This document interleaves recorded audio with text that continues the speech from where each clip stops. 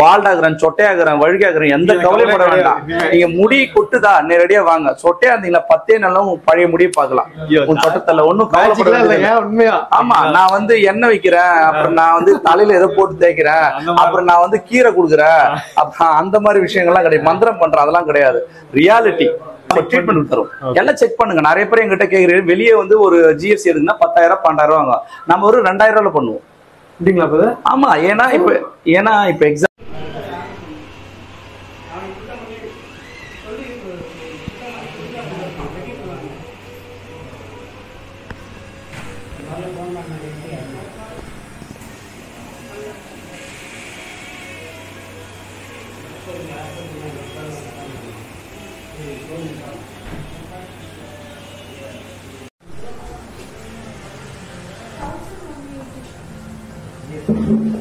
Dear food.